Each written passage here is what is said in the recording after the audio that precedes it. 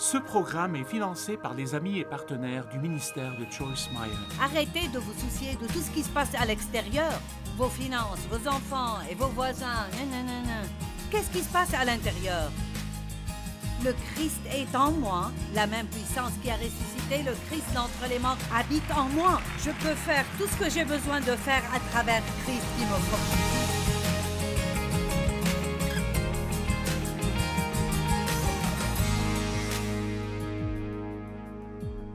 Je travaille sur une série que j'ai commencée la nuit dernière, intitulée Siéger, se tenir debout, marcher et courir. Siéger, entrer dans le repos de Dieu. Se tenir debout, fort dans la foi. Quand vous attendez votre percée, tenez-vous ferme contre l'ennemi parce qu'il vous hait et il ne veut pas que vous fassiez du progrès dans un domaine dans votre vie. Marchez avec Dieu. Appliquez dans le domaine les choses que vous apprenez à l'Église. C'est très important de ne pas juste aller à l'Église et ensuite agir comme si nous n'y avons jamais été.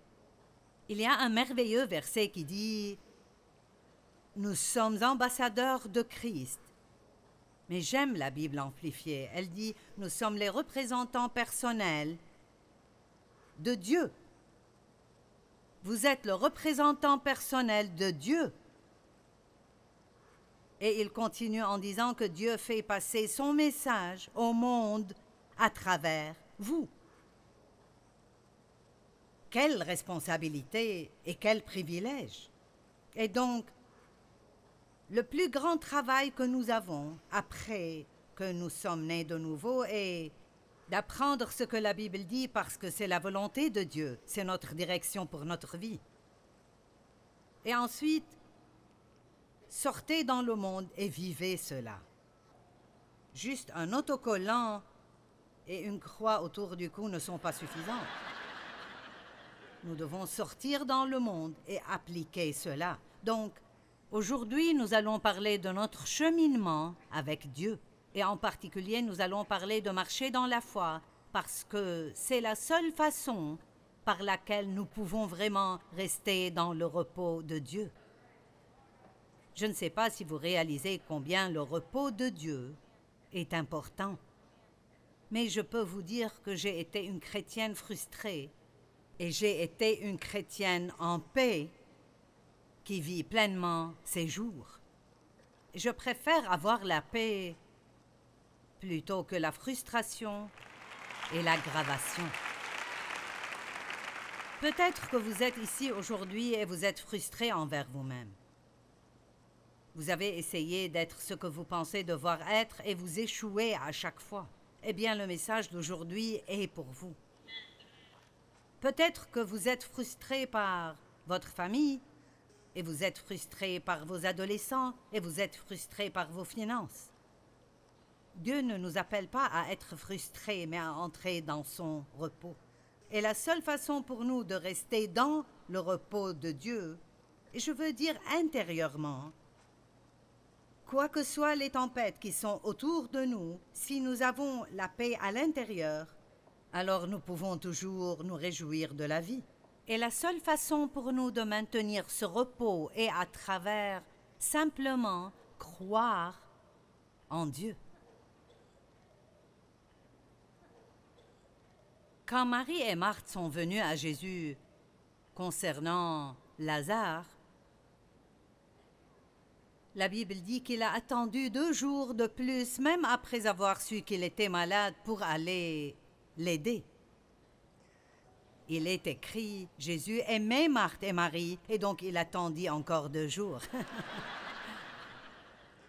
Parfois, Dieu nous aime tellement qu'il ne nous délivre pas quand nous le voulons, parce qu'il veut que notre problème devienne assez mauvais que quand nous obtenons une percée, nous sommes reconnaissants.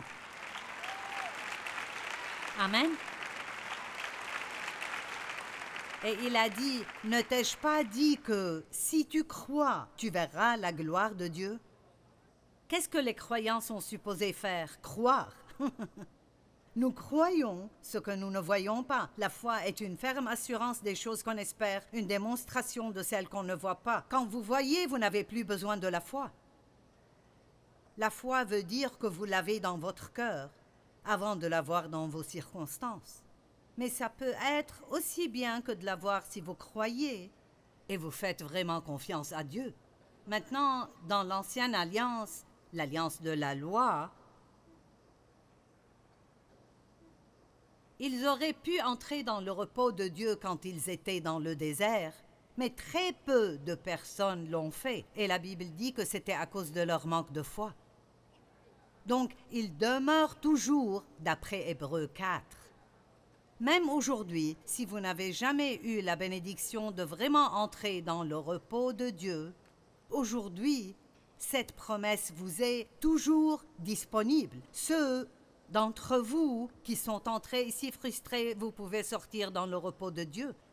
Et si vous pouvez comprendre par la puissance de l'Esprit ce que j'essaye de vous dire, vous pouvez venir à un endroit où vous n'avez jamais besoin de vivre frustré. Maintenant, nous nous énervons, mais nous n'avons pas besoin de rester comme ça. Parce que quand vous réalisez que vous êtes sorti du repos de Dieu, vous pouvez y revenir aussi vite que vous en êtes sorti en prenant simplement une décision. Je ne vais pas m'occuper de ceci, je fais confiance à Dieu.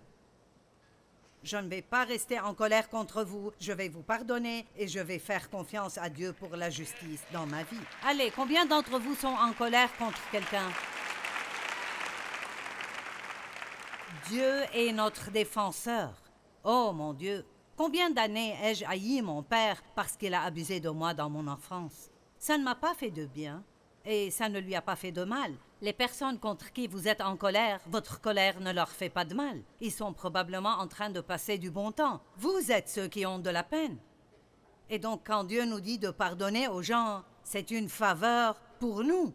Vous ne pouvez pas vivre dans le repos de Dieu si vous êtes en colère ou si vous êtes inquiet et frustré tout le temps en train d'essayer de faire que des choses arrivent que seul Dieu peut faire arriver.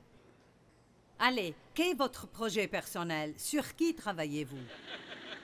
Qui avez-vous sur votre tour de potier et qui aimerait que vous les laissiez tranquilles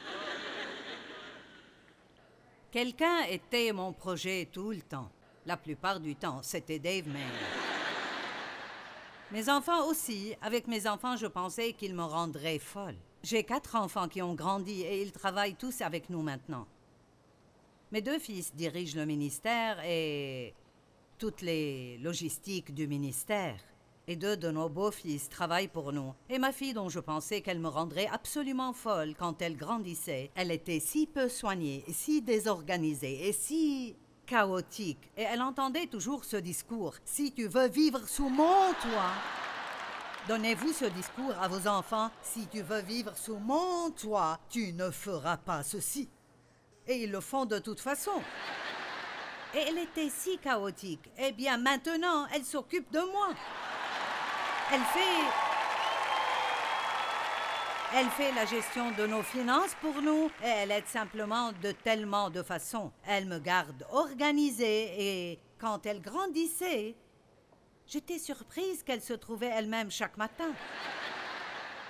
Et donc, toutes ces choses par lesquelles vous êtes frustrés, si vous faites simplement confiance à Dieu, Allez, la seule façon pour vous de profiter de la vie est de faire confiance à Dieu. Et croyez-moi, si vous faites confiance à Dieu, vous vieillirez beaucoup plus lentement que si vous ne le faites pas. Si vous ne lui faites pas confiance quand vous avez 40 ans, vous semblerez avoir 60. Mais si vous lui faites confiance, vos 70 ans sembleront 50. Amen.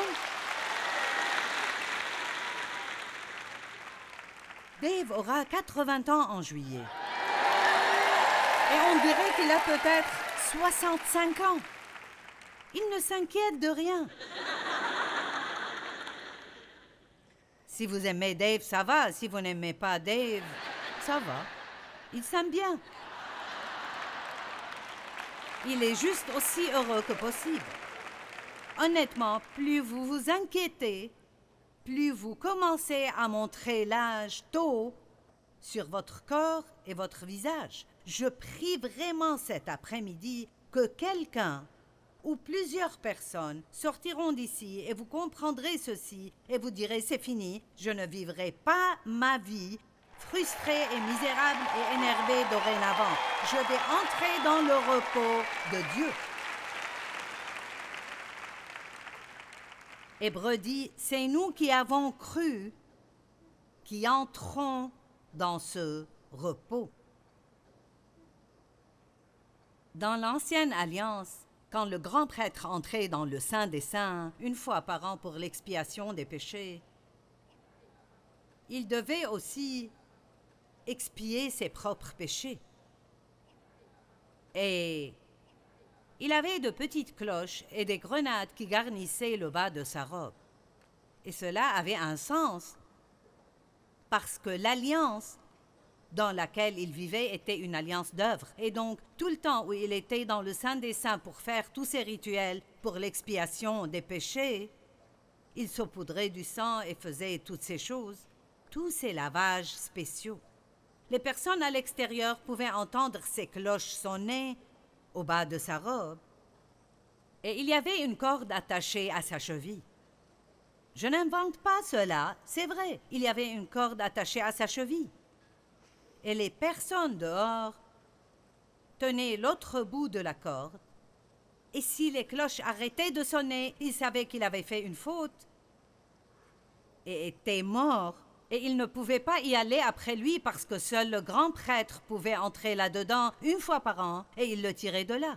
Il n'y avait pas de chaise dans le Saint des Saints, il n'y avait pas d'endroit où se reposer sous l'ancienne alliance parce qu'il n'y avait que des œuvres, les œuvres, les œuvres, les œuvres. Mon Dieu, ce que Jésus a fait pour nous. Seigneur, aie pitié. Quelle bonne nouvelle ça aurait dû être pour les Juifs quand il a dit Tout est accompli sur cette croix. Tout est accompli, tout est accompli. La chrétienté ne commence pas par une tâche, elle commence avec ce qui est accompli. Nous devons savoir qui nous sommes en Christ. Le premier jour d'Adam sur terre n'était pas un jour de travail, c'était un jour de repos. Il a été créé le sixième jour, et le septième jour était un jour de repos. Dieu a béni le septième jour et il s'est reposé. C'est intéressant qu'Adam ait commencé dans le repos et pas dans le travail. Et nous devons réaliser que Dieu ne nous a pas appelés à travailler dur pour nous changer nous-mêmes, pour que nous puissions être vraiment bons. Il veut que nous ayons une relation avec lui et ensuite que nous voulions faire ce qui est bon à cause du débordement de cette relation avec lui. Ça ne viendra pas parce que nous essayons très dur d'être bons ou nous essayons très dur de nous changer nous-mêmes.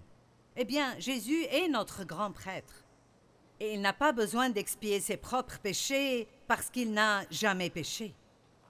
Toutefois, il est venu sous forme humaine et il sait tout ce que nous traversons. Nous avons un grand prêtre, d'après Hébreu 4, qui compatit à nos faiblesses et nos infirmités, parce qu'il a été tenté en tout point comme nous le sommes, mais sans péché. Donc il connaît toutes les tentations que nous traversons. Il a fait l'expérience de toutes les mêmes choses que nous faisons, mais il n'a jamais péché. Donc il a fait le sacrifice final. Et la Bible dit que quand il est monté au ciel, écoutez ceci, il a siégé. Et je commence à m'intéresser à pourquoi il est écrit si souvent dans la Bible qu'il a siégé. À lui qui siège sur le trône, eh bien, cela aurait dû signifier beaucoup plus pour les Juifs que ça signifie pour nous, mais ils n'ont pas compris.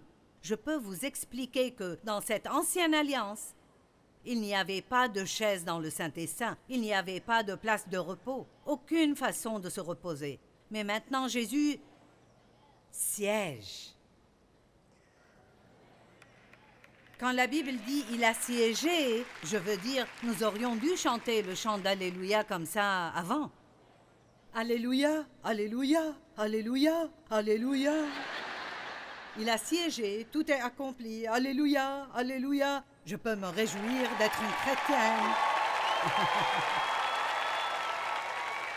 Je ne suis pas une chanteuse alors. C'est pourquoi ils ne m'ont pas donné de micro. Mais la meilleure nouvelle, même la meilleure nouvelle, se trouve dans Hébreux 2.6, où il est écrit Et nous siégeons en Christ, avec Christ, dans les lieux célestes.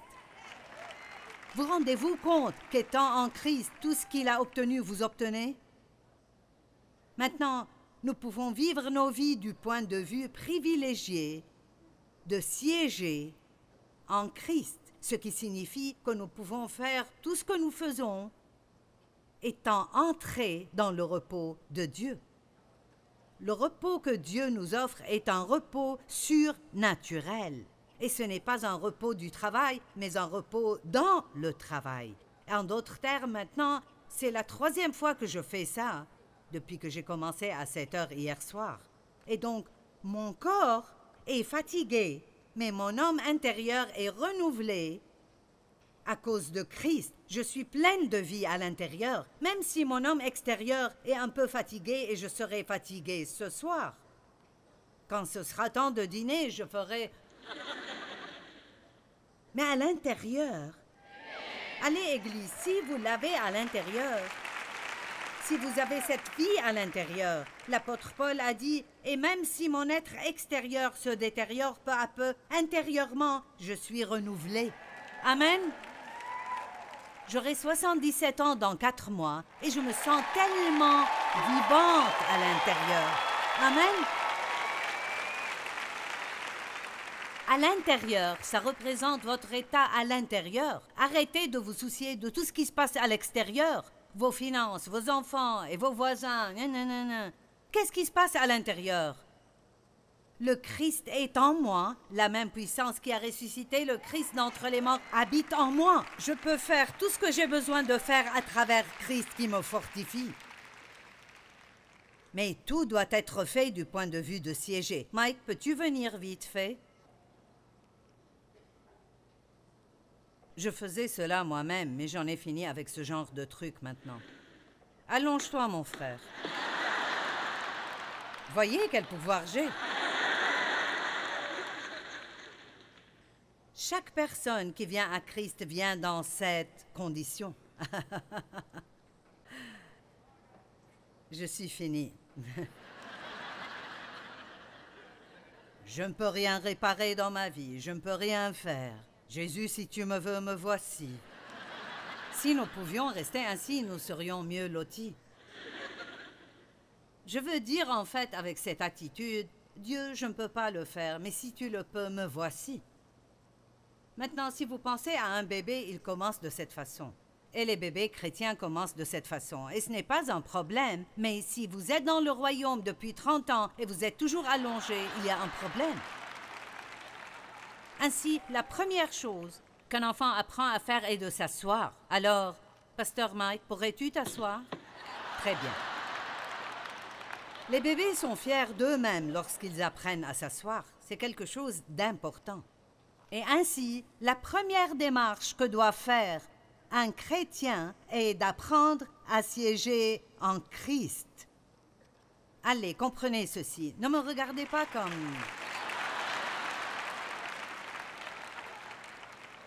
Et une fois que vous avez appris à vous asseoir, vous pouvez vous lever. Donc maintenant, vous pouvez vous tenir contre l'ennemi, vous pouvez rester fort lorsque vous avez des obstacles et des difficultés, vous pouvez vous tenir debout dans la foi. Mais vous ne pouvez pas passer de la position couchée à la position levée. Ce n'est pas possible. Vous devez d'abord apprendre à vous asseoir. Et disons juste que vous marchez en tant que chrétien. Marche un peu pour nous vous marchez en tant que chrétien. Maintenant, disons que vous faites une erreur, vous péchez et vous tombez.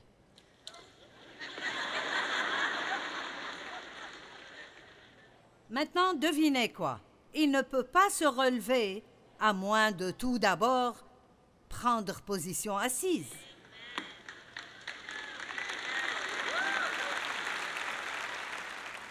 Allez, comprenez ceci. Donc, ce que cela signifie est que lorsque vous faites une faute et vous péchez, avant de pouvoir vous relever et reprendre votre marche avec Dieu, vous devez à nouveau entrer dans le repos de Dieu. Allez, allez, comprenez. allez. Et vous ne pouvez pas rester en colère contre vous-même tout le temps parce que vous n'êtes pas le spécimen parfait de la chrétienté. D'accord, tu peux marcher. Maintenant, cours ta course, frère. Très bien.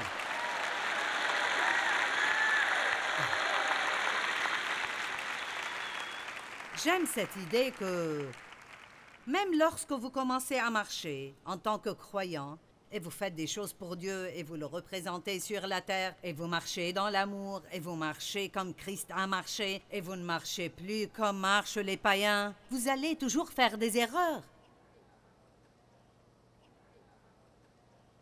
Et ce n'est pas quelque chose qu'un prédicateur devrait dire, mais ça va.